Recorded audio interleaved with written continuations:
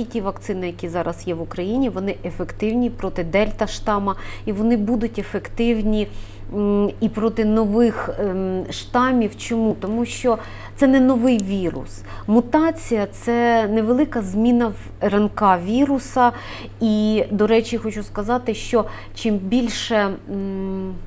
Вірус чим частіше попадає в організм, в якому нема антитіл, будь то е, вакци... після вакцинації, тобто, якщо організм не захищений, от тоді відбуваються мутації.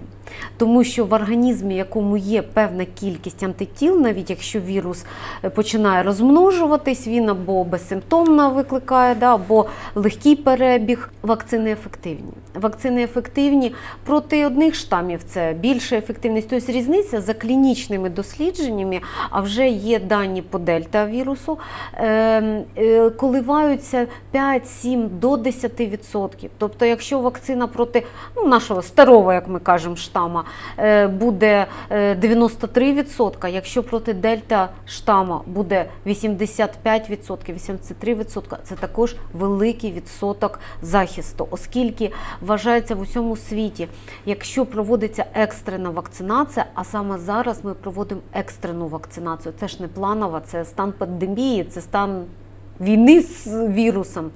Е, Коли екстрена вакцинація, 50% захисту це вже гарний результат для будь-якого е, засобу, в першу чергу для вакцини.